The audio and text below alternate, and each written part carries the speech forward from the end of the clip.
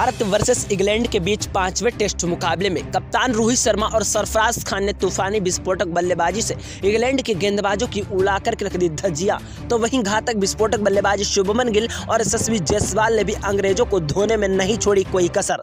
आप सभी को पाँचवें टेस्ट मुकाबले का पूरा का पूरा लाइव हाईलाइट रोमांचक मुकाबला इस छोटी सी वीडियो में दिखाने वाले हैं कि कप्तान रोहित शर्मा ने 400 साल पुराना रिकॉर्ड किस तरीके से तोड़ तोड़ दिया, जो क्रिकेट के भगवान सचिन तेंदुलकर, महेंद्र सिंह धोनी और युवराज सिंह कर पाए। वो हिटमैन कप्तान रोहित शर्मा ने किस तरीके से कर करके दिखा दिया। सब कुछ आपको पूरा का पूरा लाइव हाईलाइट रोमांचक दिखाएँगे। बस आप लोगों से छोटी सी रिक्वेस्ट है। अगर आप इस वीडियो को देख रहे हैं तो प्लीज़ शुरू से लेकर अंत तक देखते रहिए। चैनल पर नए हैं तो चैनल को सब्सक्राइब करके बेल आइकन को प्रेस कर दीजिए और वीडियो को दिल से एक लाइक ज़रूर कर देना। भारत वर्सेस इंग्लैंड के बीच पाँचवें टेस्ट मुकाबले में, जब भारत वर्सेस इंग्लैंड का बीच पांचवा टेस्ट मुकाबला, कोई छोटा मोटा मुकाबला नहीं, एक घातक विस्फोटक, एक तूफानी मुकाबला था, एक सांख रोक देने वाला मुकाबला था, क्योंकि इस मुकाबले में भारतीय टीम जो है, पूरी तरीके से इस मुकाबले को जीतना चाहती थी तो वहीं घातक विस्फोटक बल्लेबाज इंग्लैंड के कप्तान भी इस मुकाबले को जीतने के लिए जी तोड़ मेहनत कर रहे थे। लेकिन भारतीय टीम के बल्लेबाजों के सामने इंग्लैंड के गेंदबाज और कप्तान की एक न चली और भारतीय बल्लेबाजों ने तूफानी विस्फोटक बल्लेबाजी से इंग्लैंड के गेंदबाजों की धज्जियाँ उड़ाकर रख दी।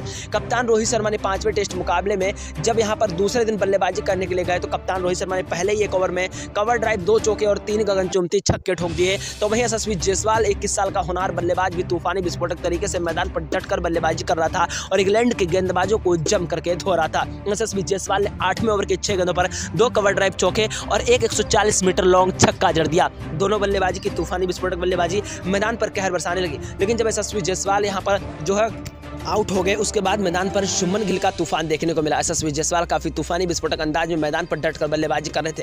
लेकिन यशस्वी जायसवाल जैसे खूंखार विस्फोटक बल्लेबाज जब आउट हुए तो मैदान पर शुभमन गिल का तूफ़ान आया और शुभमन गिल ने तूफानी विस्फोटक अंदाज में इंग्लैंड के गेंदबाजों के पर खच्चे उड़ा दिए। शुभमन गिल ने पाँचवें टेस्ट मुकाबले में आते ही चौके से शुरुआत की और तूफानी बेहतरीन विस्फोटक बल्लेबाजी से इंग्लैंड के गेंदबाजों की धज्जियाँ उड़ाकर दी जब भारतीय टीम चौथा टेस्ट मुकाबला हार के कगार पर खड़ी थी तो सुमन गिल ने ही घातक तूफानी विस्फोटक बल्लेबाजी से चौथा टेस्ट मुकाबला भारतीय टीम को जिताया था। इसी तरीके से पाँचवें टेस्ट मुकाबले में शुभमन गिल ने तूफानी विस्फोटक अंदाज में इंग्लैंड के गेंदबाजों की धज्जियाँ उड़ाकर रख दी और पाँचवें टेस्ट मुकाबले में ताबड़तोड़ विस्फोटक बल्लेबाजी से मैदान पर कहर बरसा दिया। शुभमन गिल का बल्ला मैदान पर तूफानी विस्फोटक तरीके से चलता रहा। इंग्लैंड की गेंदबाज से लेकर के कप्तान ने एडी से लेकर चोटी तक का ज़ोर लगा दिया। हिटमैन रोहित शर्मा को आउट करने के लिए, लेकिन हिटमैन रोहित शर्मा की बल्लेबाजी मैदान पर तूफ़ान ला रही थी। हिटमैन रोहित शर्मा तूफानी विस्फोटक अंदाज में मैदान पर डटकर बल्लेबाजी कर रहे थे, जहाँ पर इंग्लैंड के गेंदबाज से लेकर के कप्तान को कुछ भी समझ में नहीं आ रहा था। हिटमैन रोहित शर्मा ने यहाँ पर पैंसठवें ओवर की छह गेंदों पर बरसों साल पुराना रिकॉर्ड तोड़ दिया। क्योंकि हिटमैन रोहित शर्मा ने एक नहीं, दो नहीं, तीन नहीं,